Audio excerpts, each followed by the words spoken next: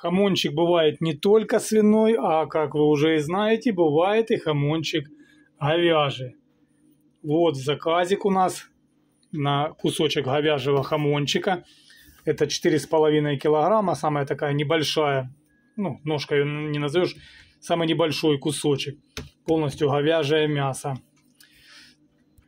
И что самое главное, для тех эм, людей, которые у них вера не позволяет кушать им свинину и мясо говяжье или другие мясо, там, козье, нужно только, чтобы было халяль, если я правильно говорю, то есть такая возможность, фабрика специально для людей, которые, ну, вера у них мусульмане, для них есть халяль, и они прям ставят свою метку, что это халяльное мясо. Так что можно заказывать для тех, кто предпочитает именно такое.